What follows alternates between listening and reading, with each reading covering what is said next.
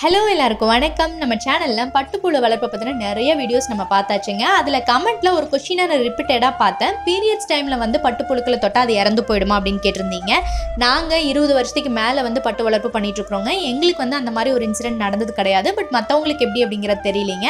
ஆனால் முக்கியமான ஒரு விஷயம் என்னென்னா பட்டுப்புழுக்கள் இந்த மாதிரி ரொம்ப சின்ன சைஸில் இருக்கும்போது உங்கள் வீட்டில் ஒரு பேபி இருந்தால் அதை எப்படி நீங்கள் பார்த்துப்பீங்களோ அந்த அளவுக்கு வந்து இந்த பட்டுப்புழுக்களை நம்ம சேஃபாக வந்து பார்த்துக்கணுங்க. எப்போல்லாம் நீங்கள் பட்டுப்புழுக்களை கையில் ஹேண்டில் பண்ண போகிறீங்களோ அதுக்கு முன்னாடி ஹேண்ட் வாஷ் கண்டிப்பாக பண்ணிடணுங்க மேபி நீங்கள் அந்த சாப்பிட்டு அந்த மசாலா ஸ்மெல் உங்கள் கையில் இருக்கும்ல அது கூட அந்த புழுக்களை வந்து அஃபெக்ட் பண்ணும்.